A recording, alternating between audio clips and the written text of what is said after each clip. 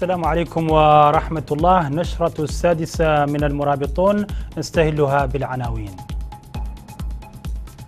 ملتقى بنواكشوط يبحث المنظومة التشريعية الدولية التي تحكم نشاط الصيد غير المرخص وموريتانيا تشيد باستراتيجيتها في مجال الصيد. الأمين العام لوزارة البيئة يقول إن التغير المناخي يشكل تحديا عالميا وإن موريتانيا قامت بإجراءات للحد من تأثيراته. الجمعية الوطنية تنظم دورة تكوينية لممثلي بعض الهيئات الصحفية في موريتانيا حول البرلمان ودوره التشريعي.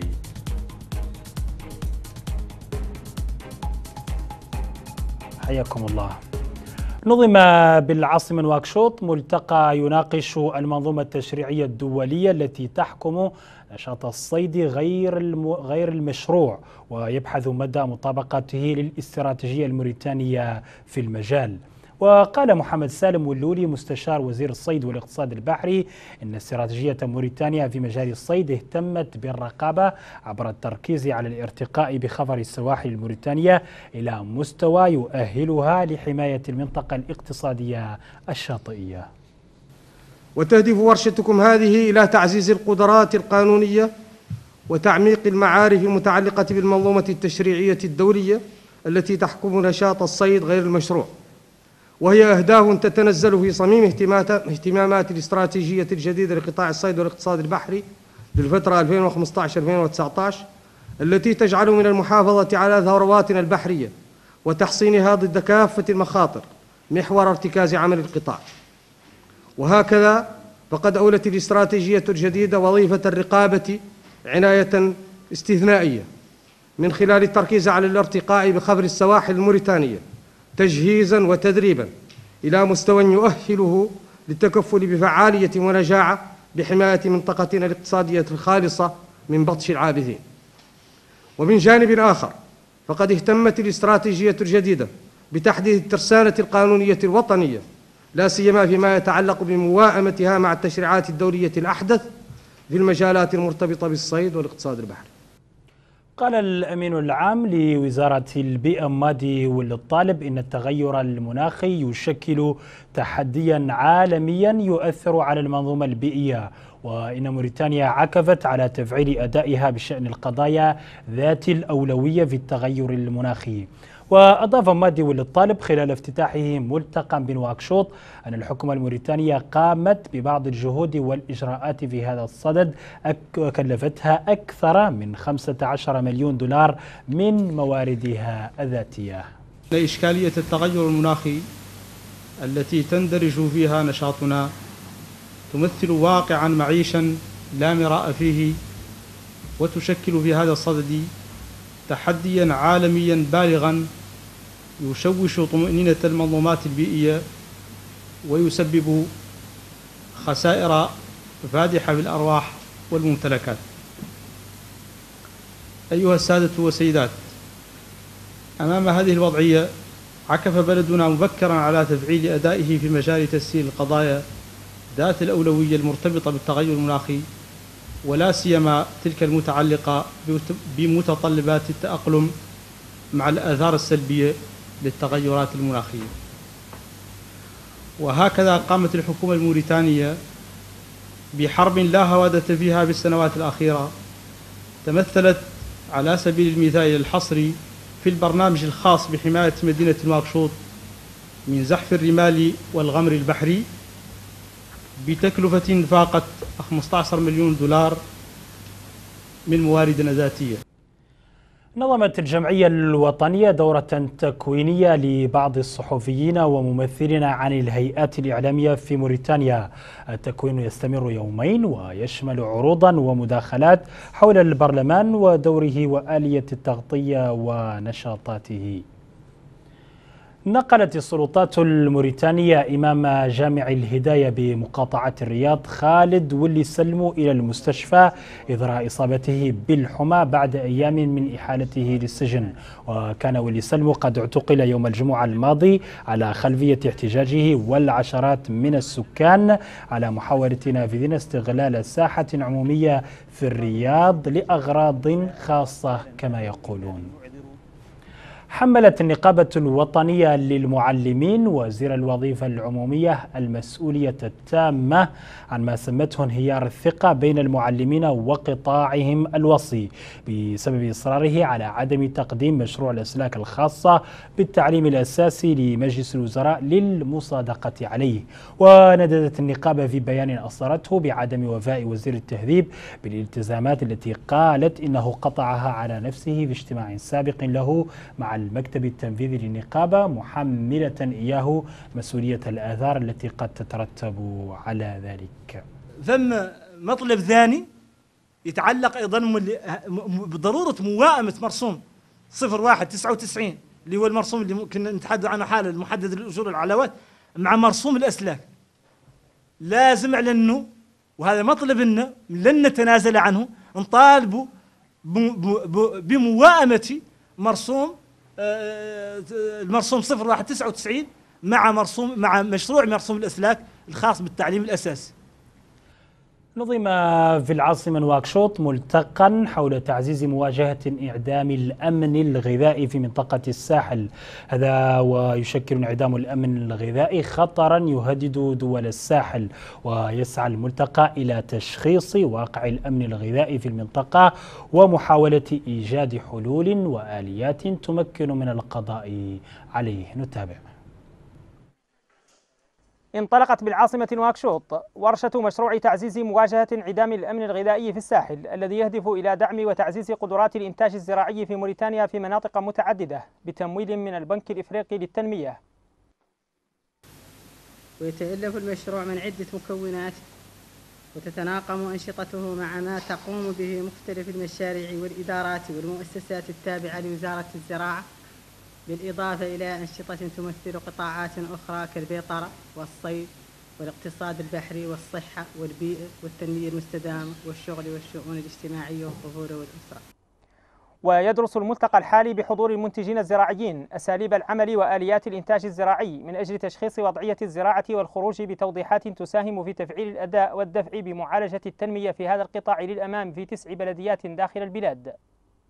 بناء على ما حصلنا عليه حتى الآن من معلومات حول هذا المشروع فقد رأينا أنه يستجيب لمتطلعات أو لتطلعات المواطنين في بلدياتنا من حيث المساهمة في تحقيق الأمن الغذائي وتحسين الحالة الغذائية بصورة مستدامة.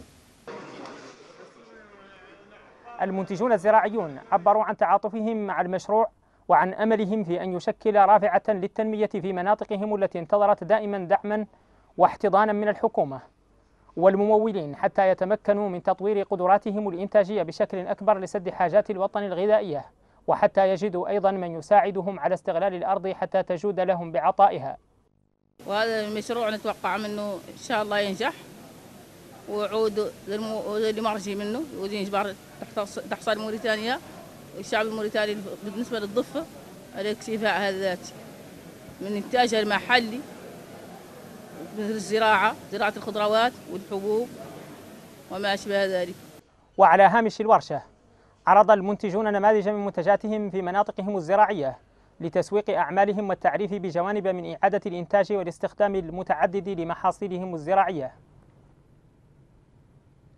انتقد منتدى الديمقراطية والوحدة بيان السلطة العليا للصحافة والسمعيات البصرية الأخير معتبرا أنه صادر بالتزامن مع مصادقة مجلس الوزراء على قانون مجتمع المعلومات. وقال المنتدى في بيان صادر عنه إنه يستدعي هذا البيان تعبئة من سماهم الحريصين على الحريات وحماية حرية التعبير معتبرا إياه انتهاكا صريحا لخصوصيات المواطنين وخنقا لحرية الإعلام والتعبير. نتابع. انتقاد شديد من المنتدى الوطني للديمقراطية والوحدة لبيان السلطة العليا للصحافة والسمعيات البصرية الهابا الذي حمل خطابا حادا تجاه بعض وسائل الإعلام الخصوصي. اتهمها فيه بالإساءة إلى الكرامة البشرية والنيل من شرف رئيس الجمهورية. فالسهر على تطبيق القانون واحترام أخلاقيات المهنة ووضع حد للخطاب الفئوي والعنصري هي أمور حسب المنتدى لا تهم الهبة وإن كانت من صميم رسالتها. المنتدى اعتبر أن الرئيس هو وحده من يستطيع حماية شرفه وشرف عائلته. بابتعاده عما يدنس العرض ويخل بالشرف وليس ببيانات الهبة وتكميم أفواه الصحفيين. وجدد المنتدى اتهاماته لولي عبد العزيز بالتفاوض مع عصابات تبييض الأموال والتعاطي مع شبكات المخدرات والإثراء غير المشروع وتحدي قوانين الجمهورية والإخلال بالالتزامات. تزامن بيان الهابا مع المصادقة على قانون المعلومات كان مثار انتقاد شديد من طرف المنتدى الذي اتهم النظام بالتوجه نحو التجسس على الحياة الخاصة للمواطنين وتكميم أفواه الصحافة والمدونين داعيا إلى تعبئة الحريصين على احترام الحريات العامة إلى التشهير بهذه الإجراءات. رياضيا بعد الأداء الباهت في نسخة الدوري الماضية يحاول البرتقالي أفسين واديبو العودة إلى مستواه وإعادة الجمهور إلى المستوى الذي تعود عليه البرتقالي أفسين واديبو وذلك بتعاقدات مع لاعبين تونسيين ومدرب تونسي والعديد من اللاعبين الموريتانيين. نتابع. أفسن وذبو هذه السنة كثر الحديث حوله كثيرا بعد أن قضى نسخة الدوري الماضية بأداء باهت توارى بعده عن الأنظار مباشرة ولم يعد محط أنظار وسائل الإعلام المحلية لكنه ما لبث طويلا حتى عاد للواجهة من جديد حين صدر لاعبين إلى الدور التونسي. وما صاحبهما من أحاديث وإشاعات يرى البرتقالي أنها كذبة خاطئة وأريد بها باطل وتقليل من شأنه. هكذا كان حديث إداريه ومسؤوليه بعد صفقة أبوسي وعبد الله السوداني. لم تتوقف عجلة نادي المدينة الاقتصادية عن الدوران بعد ذلك حتى قال قائل الغواصة البرتقالية تنوي التعاقد مع مدرب تونسي. ونيتها اتجاه نسخة الدور المقبلة باتت مكشوفة للجميع ولسان حال إدارتها يعجل من حركة عجلة التغيير حين يقول نريد ثنائية الكأس والدور هذا العام وزمن الهزائم ولا.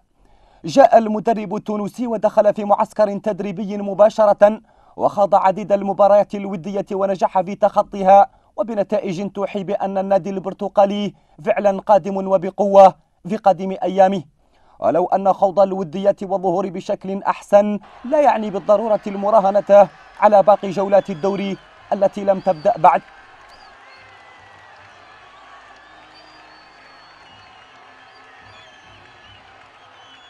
في الأسابيع الماضية تحرك سماسرة النادي بحثا عن وجوه جديدة لتعزيز صفوف الفريق فوقع الاختيار على مهاجم الكونكورد مامانياس وظهير الجاو.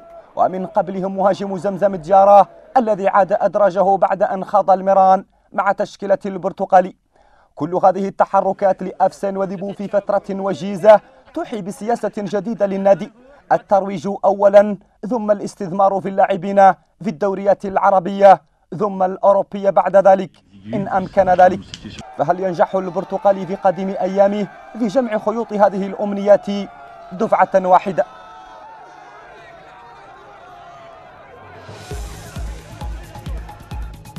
أفسين وأديبوس سيحاول أن يسقي تفرغ زينة من نفس الكأس التي سقاه في الموسم الماضي. إلى العناوين. ملتقى بنواكشوط يبحث المنظومة التشريعية الدولية التي تحكم نشاط الصيد غير المرخص وموريتانيا تشيد باستراتيجيتها في مجال الصيد. الأمين العام لوزارة البيئة يقول إن التغير المناخي يشكل تحديا عالميا وإن موريتانيا قامت بإجراءات للحد من تأثيره. الجمعية الوطنية تنظم دورة تكوينية لممثلي بعض الهيئات الصحفية في موريتانيا حول البرلمان ودوره التشريعي.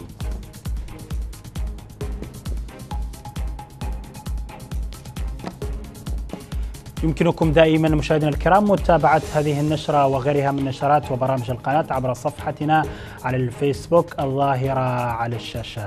في السادسة والنصف أبو بكر والمشهد وفي التاسعة جولتنا المسائية مع حامد كانتي. لا تذهبوا بعيدا.